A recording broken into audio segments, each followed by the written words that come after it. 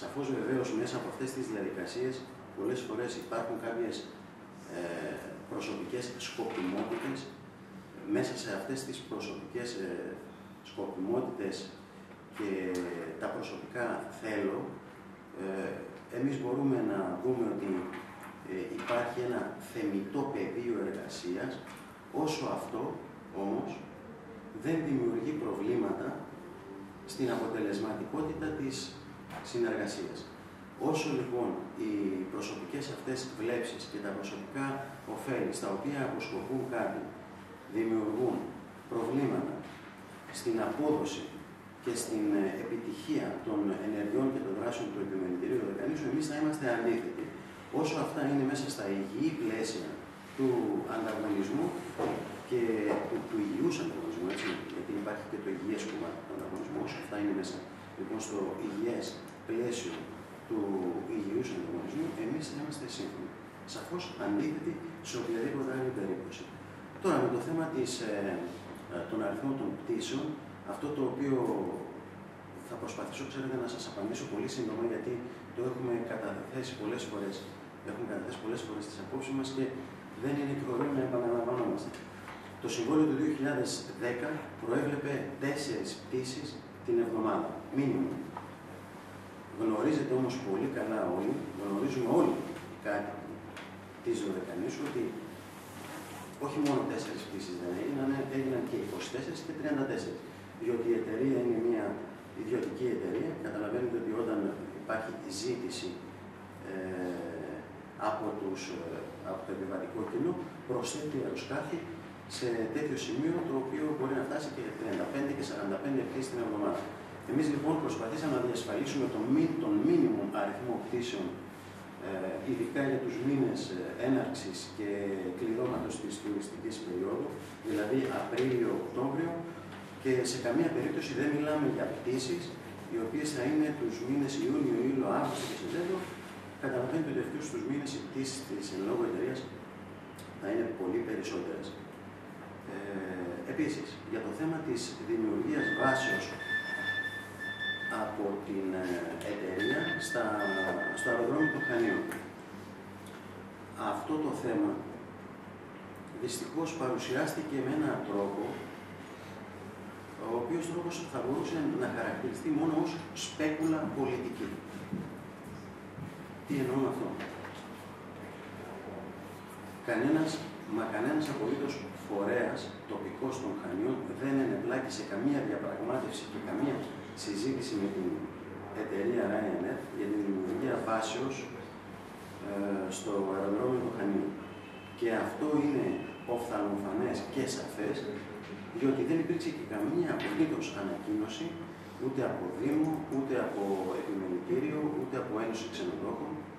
Η μόνη ανακοίνωση η οποία υπήρξε ήταν η απόφαση της εταιρείας να δημιουργήσει βάση. Δηλαδή η ίδια η εταιρεία η Ryanair έδωσε ανακοίνωση,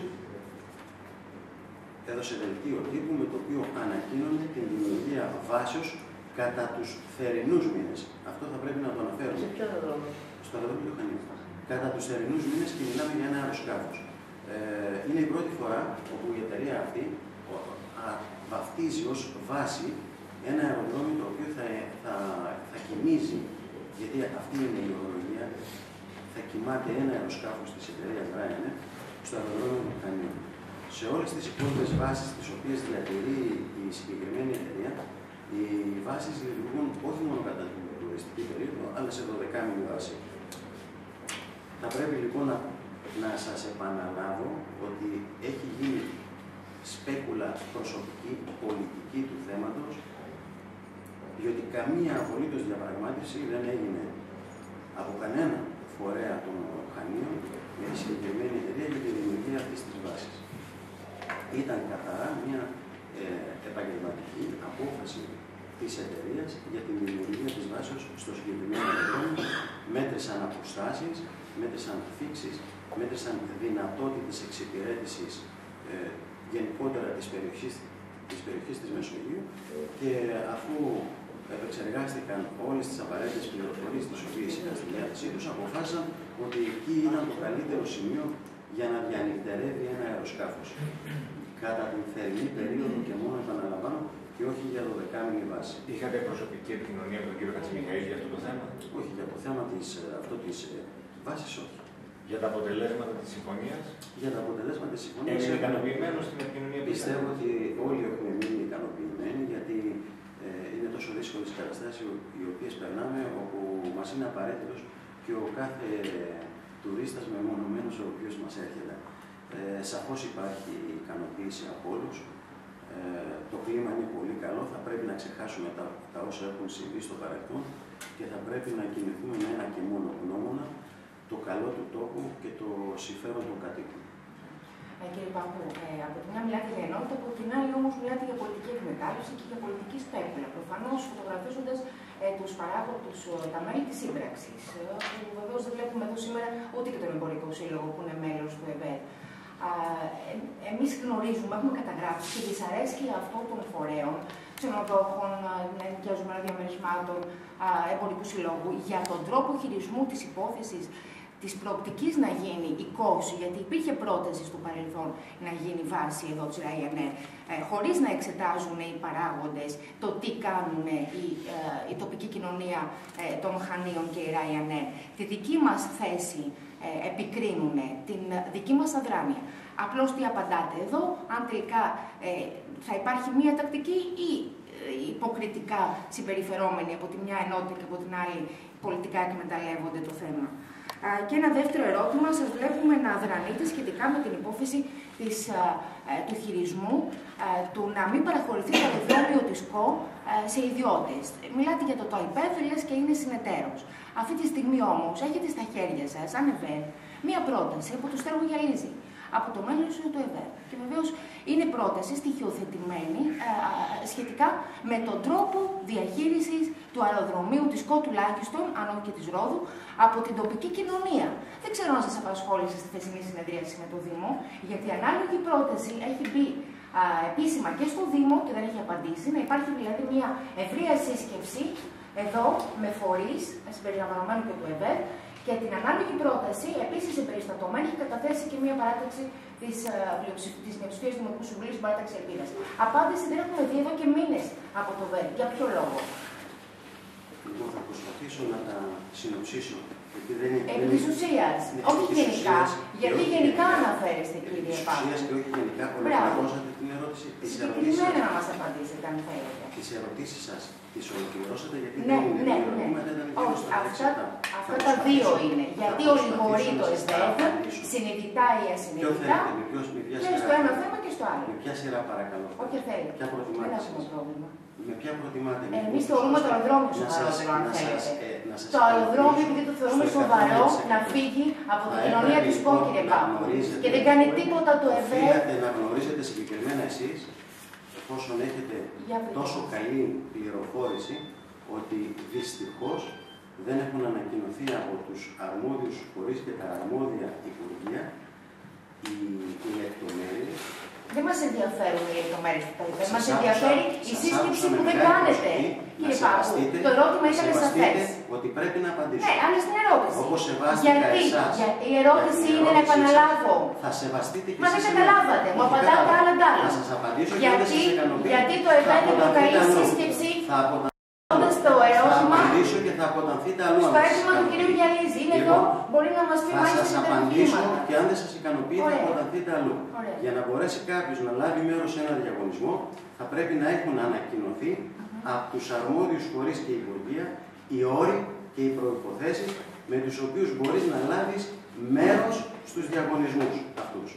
Αυτοί λοιπόν οι όροι δεν έχουν ακόμα ανακοινωθεί από κανέναν φορέα και κανένα υπουργείο, πράγμα το οποίο και εμάς μας δένει τα χέρια στο να προχωρήσουμε στα επόμενά μας βήματα. Ξέρετε πολύ καλά ότι αν δεν γνωρίζει του όρου και τι προποθέσει, δεν μπορεί να λάβει μέρο σε κανέναν από αυτού του να κάνετε μια προετοιμασία. Απάντησα, δεν θα ανοίξουμε διάλογο, απάντησα στο ερώτημα. Μια σύσκεψη γιατί δεν κάνετε. Απάντησα, επόμενη ερώτηση. Παρακαλώ. Εμένα με έχουν καλύψει. Προλαλήσατε, δεν ξέρω αν θέλετε να συμπληρώσουν οι συνάδελφοι. Ε, επειδή είπα ότι συζητήσατε χθες για τα θέματα του ΤΑΙΠΕΔ, αυτό σημαίνει και παραγωγικέ πηγές της Δωδεκανήσου, οι οποίες ουσιαστικά θα πρέπει να αξιοποιηθούν μέσω του ΤΑΙΠΕΔ και αν υπάρχει συζήτηση για το πώς μπορεί να εμπλακεί το ΕΒΕΝ, η τοπική αυτοδιοίκηση, σε αυτή τη διαδικασία, ώστε να μην για είναι προσώπηση τοπικής κοινωνίας. Αυτό είναι το. Το ΤΑΙΠΕΔ θα είναι ο οργανισμός ο οποίος θα διαχειριστεί όλα τα αξιόλογα και μεγάλη σημασία για εμά ακίνητα και εγκαταστάσεις, είτε αυτά είναι υπόβιδα είτε είναι εγκαταστάσεις. Αυτό το οποίο εμείς παρακολουθούμε είναι να, γίνουν με, να γίνει αξιοποίηση τους με ένα τέτοιο τρόπο, ε, ώστε να, ακολουθεί, να ακολουθηθεί τόσο η διαδρομή της διαφάνειας, να δοθεί δηλαδή η δυνατότητα σε μεγάλο αριθμό ενδιαφερομένων να καταθέσουν προτάσεις και από αυτές τις προτάσεις να επιλεγεί η πιο συμφέρουσα για τον τόπο μας; Επενδυτών δηλαδή, ΕΒΕΔ, συνεργασία δηλαδή επενδυτών, ΕΒΕΔ και Θα μπορούσε να είναι ακόμα και συνεργασία του ΕΒΕΔ. Καταλαβαίνετε βεβαίως έτσι για να σας δώσω ένα δείγμα ε, των μεγεθών για τα οποία μιλάμε. Ε, για το αεροδρόμιο της Ρόδου ζητήθηκε όταν θα δοθούν και οι υπόλοιπες λεπτομέρειες στον διαγωνισμό, ε, ζητήθηκε να κατατεθεί μια εγγυητική της τάξης των 180 εκατομμυρίων ευρώ και για το αεροδρόμιο της ΚΟ μια εγγυητική του ύψους των 120 περίπου εκατομμυρίων ευρώ. Αυτά είναι μεγέθη ε, τα οποία είναι δύσκολο να συγκεντρωθούν όχι μόνο από το ΕΒΕ και τον Δήμο, αλλά πολλές φορές και από, από το ίδιο το κράτος. Ε, θα προσπαθήσουμε βεβαίως να μετέχουμε μέσα σε κάποιο σχήμα, εάν και εφόσον το προβλέπει αυτό, το προβλέπουν ε, τα χαρακτηριστικά ε, των διαγωνισμών.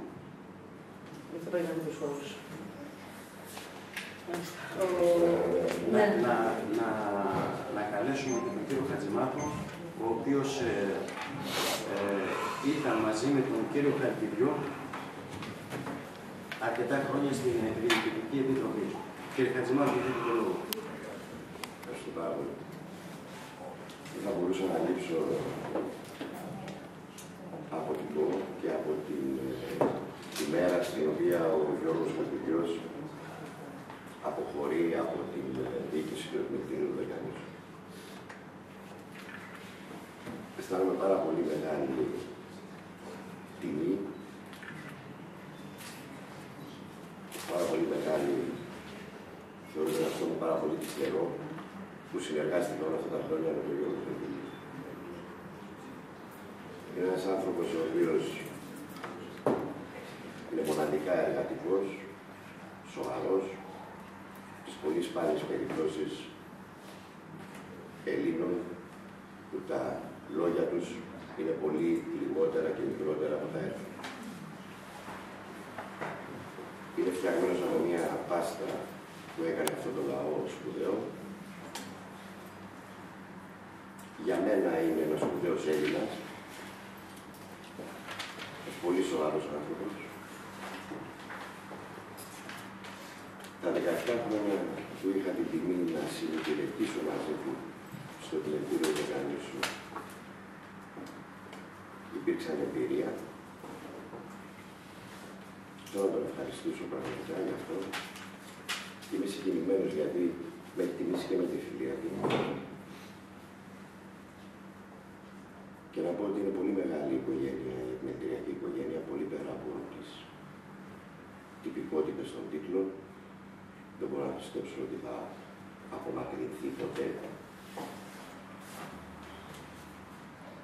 Να το ευχηθώ σε οτιδήποτε άλλο αποφασίσει να ασχοληθεί κάθε επιτυχία, είμαι σίγουρος ότι